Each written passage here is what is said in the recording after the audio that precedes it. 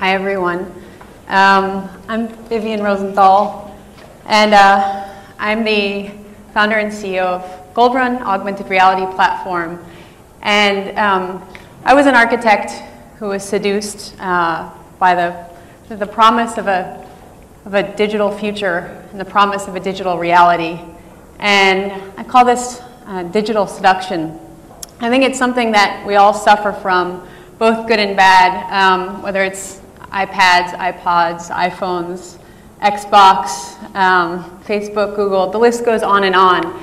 And clearly, um, it's sort of become a part of the way we think and the way we interact. And what used to be sort of a small group of individuals who called themselves sort of science fiction nerds who uh, followed the worlds of Neuromancer and Blade Runner and Minority Report have all of a sudden become a society of believers and in fact, they're not just believers, they're really users. Um, they use the technology. I'd say they've become the technology. And um, I'd go so far as to say that we've actually become the technology. Um, it's really, it's embedded in the way we think, it's embedded in the way we learn, embedded in the way we act, and the way we interact with each other. Um, we've really become cyborgs in that the technology has become an extension of ourselves and an extension of the self. Um, so what does, what does all this mean? Well, it means that science fiction really is no longer science fiction. It actually just becomes science.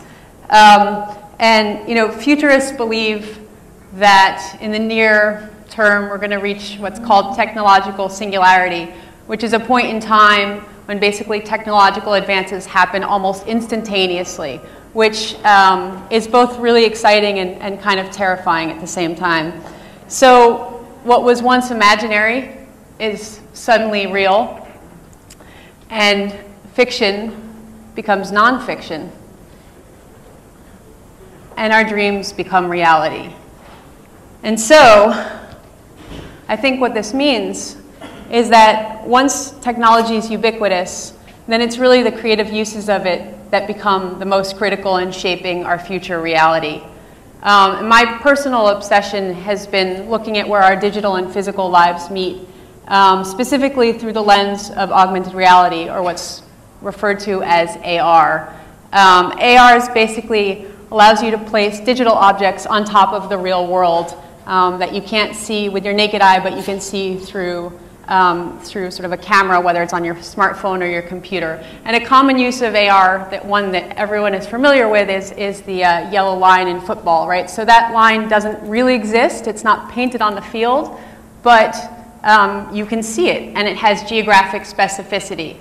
And so this clip I'm going to show is from Iron Man 2, and I just wanted to make sure that everyone sort of understand, like um, understood, sorry, that the sort of potential of AR. So what we're seeing here is highlight the Robert Downey Jr. is interacting with basically a, a virtual layer, this augmented reality layer. And he's doing so using gesture-based interactions, which are now completely ubiquitous. So our kids are using the Wii uh, and Microsoft Kinect to use their gestures to control virtual worlds. Trees.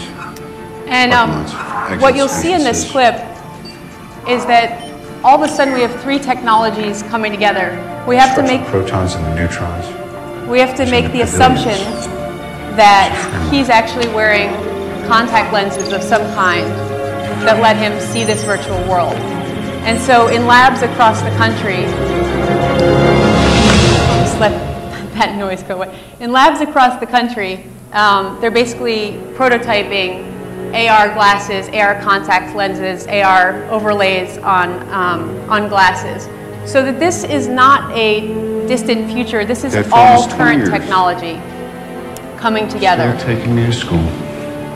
And it's what lets him solve the puzzle in, uh, in Iron Man, if, if you've seen it. So very powerful technology. So we've arrived clearly. Um, but, but where have we arrived? Um, I think, you know, let's take a step backwards and sort of think about, trace this uh, ubiquitous digital interactions. And it clearly started with the World Wide Web. the web brought us all online. It connected us to each other, it connected us to information, and ultimately to new forms of exchange and commerce. Um, and, and just the way uh, the web brought us online, augmented reality has the power to bring us offline right? So AR is an incredibly disruptive technology that's going to really change the way we interact with each other and commerce and information over the next few years. Um, and we, we heard earlier from, from Chris that for the first time ever, smartphone sales surpassed PC sales. So last quarter, 100 million smartphones were shipped, 92 million PCs, which is pretty staggering when you think about it. Um, so our future is this hybrid reality. I don't think anyone could um, say that it's not. But, um, and, and this is one, again, that bridges our, our physical and digital lives. Um, and let's talk about how that's possible. Well, it's possible through this um, idea of making it contextual. So when you think about virtual reality, virtual reality failed because it was all about simulation. Augmented reality is about context. It's about seeing the real world in front of you and having a digital overlay. Things being contextual um, are probably the most pertinent to our understanding of the world around us and to space and perception. So it's this context that's incredibly powerful. Um, so all of a sudden we can see and interact uh, with products virtually, and we can also interact with characters from film and TV and, and games. So instead of them being on the screen, literally in the theater on the flat screen, it's 2D, or you know, on your TV or on your PC, they're literally coming to life and jumping out from the screen, and suddenly they're in, their, in your living room, or they're floating in the park nearby, um, or they're at Giant Stadium. So all of these objects suddenly have take on a new life. Um, and the sort of the really potent triumvirate that makes this possible is this combination of augmented reality, GPS, which is literally just longitude and latitude, and then virtual goods. And a virtual good can be really anything that exists in the real world, in the physical world, can have a virtual counterpoint. So you have a physical car, you can have a virtual car. Um, and so next clip, I'm just going to show a project we did with Y&R and Airwalk that sort of brings these all together. And it, and it does so by introducing what we're calling at Gold Run virtual commerce or v-commerce. So online, you have e-commerce, which you know, sort of every brand at this point needs uh, an e-commerce platform. But offline, uh, we have what we're calling v-commerce. And so these are literally just hot zones that we can create. Could be as big as a, you know, as a mall or an airport or a sporting stadium, um, or it could be in everyone's living room, or it could be every Target or Walmart across America. So this is the, uh, the video. Let this play. This is an Airwalk store. And so is this. They are the world's first invisible pop-up stores. Stores that can be set up anywhere at any time. Simply by using smartphones, geolocation, and augmented reality. We created them for the limited edition relaunch of the Airwalk Jim, a sneaker originally made for kids who hang out in skate parks or on the beach instead of going to gym class. So that's where we set up the stores.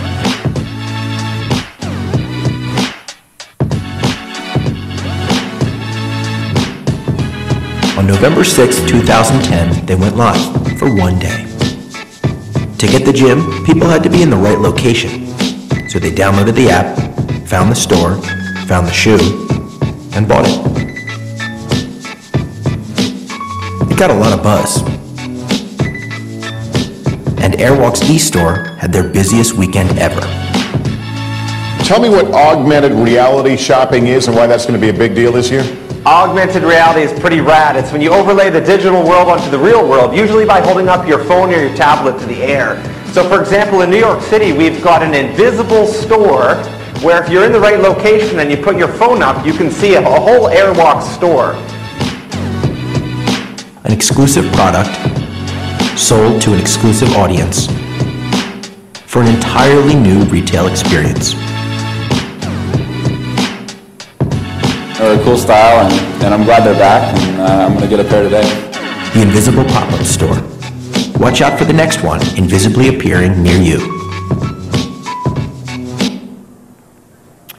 So, the U.S. virtual goods market is uh, going to hit 2.1 billion by the end of 2011. That's a very substantial number. And obviously, everyone's very excited about the, the virtual goods market um, and seduced by the worlds of, of Zynga and Farmville. And while those are obviously incredibly powerful, um, I think people have forgotten about the real world. They've forgotten about the physical world.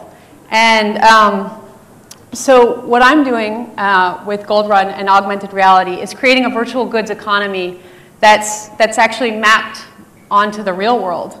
Um, so in some ways you can see this as a, a, sort of parallel universe to the one exists online.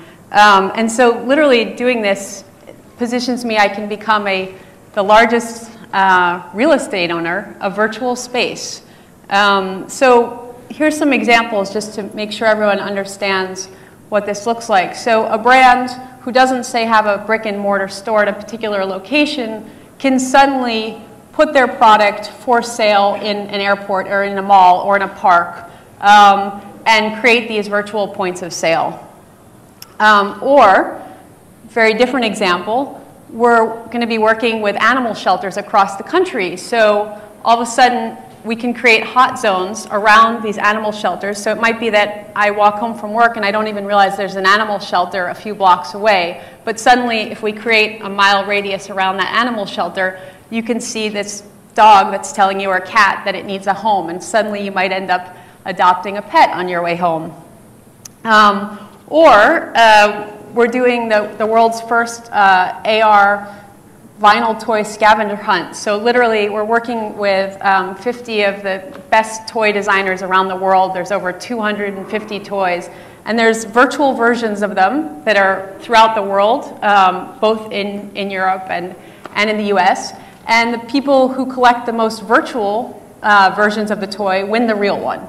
Um, and, and another example is um, we're creating a campaign. It's called uh, Visualize the Vote, voterize.com. And literally, it's the idea of using technology to allow people who, aren't, who are under 18 to have a voice, to be able to vote, so to speak. So they can take photos using augmented reality with a candidate of their choice, and those photos all become geotagged and part of a, a website and, and map.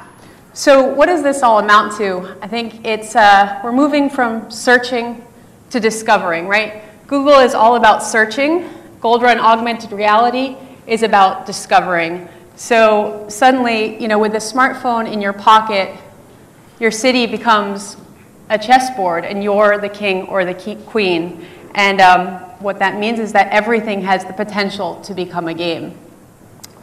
Um, so the web gave us multiple identities. I think we're all familiar with that between you know, having to keep up with all of our different identities on Facebook and Twitter and Google+.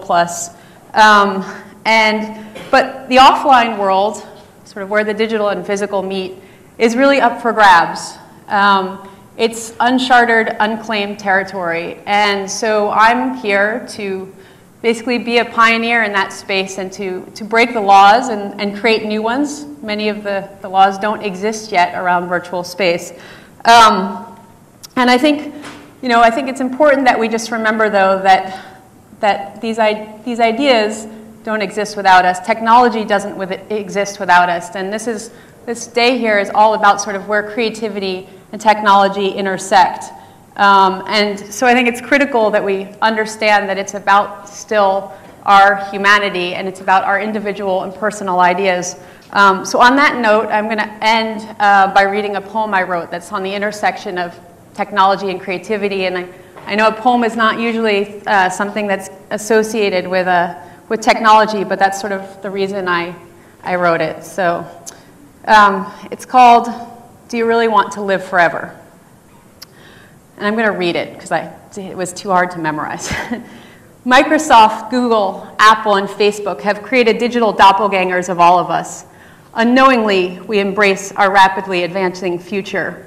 Do we really want to live forever, or do our virtual selves, happy to replace us? Raised arms, the haptic is transforming. once physical, now digital, but movement survives. Movement alone survives. Touch dies. Gesture replaces touch, translating one form into another. Location collapses here, there, and everywhere. Do we reach our biological limits or extend them? We interact with each other in new ways. We stop questioning. Email dies. Digital lies. I still breathe, though, just barely. We witness the evolution unfolding in real time. The World Wide Web will move from online to offline. Augmented reality meets GPS becomes my byline. A seamless extension of a hyper-connected virtual network overlaid on our physical reality will soon go berserk.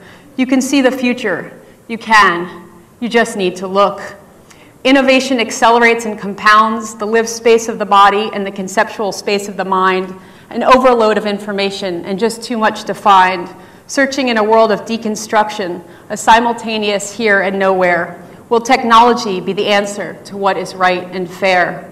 Who owns this virtual space we will soon embrace? Virtual goods, gold farms, and what we thought we understood. But no, only slightly these ramifications where digital and physical collide slide, and reform, almost recognizable. And you wonder, was I there? Did I do that? Did I buy that, eat that, fuck that? I can't remember. 24 hours turns to 25, time morphs, or so we think. Digital seduction reigns supreme. Do we really want to live forever? Thank you, Vivian.